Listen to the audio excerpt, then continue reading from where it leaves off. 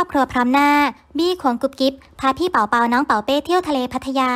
ไม่เจอกันนานคิดถึงจังเลย กระโดดกอดสามีกลางสนามบินอย่างอบอุ่นสำหรับกุ๊บกิ๊บสมนทิพย์ที่พาลูกสาวน้องเป่าเปาน้องเป่าเป้มาคอยรับบี้ทันสภาพพร้อมถือป้ายที่ทำกันเองอย่างน่ารัก ต้อนรับอยู่ที่สนามบิน หลังไม่เจอกันนานร่วมปี เพราะสามีไปถ่ายซีรีส์ไกลถึงประเทศจีน ล่าสุดกุ๊บกิ๊บโพสต์รูปลงไอจีอีกครั้ง พร้อมกับข้อความว่าฟูลทีมสี่คนพ่อแม่ลูก ป้าพาพี่เปากับเป้ มาลุยที่ที่นางอยากให้ป้ามาเล่นด้วยกัน นางรอวันนี้มานานแล้ว เป็นการเผยรูปครอบครัวพร้อมหน้าอย่างอบอุ่น เดินทางไปเที่ยวพัทยากันอย่างสนุกสนาน หลังจากไม่ได้เจอกันมานานมาก ด้านคอมเมนต์แฟนๆ ต่างเข้ามาให้กำลังใจ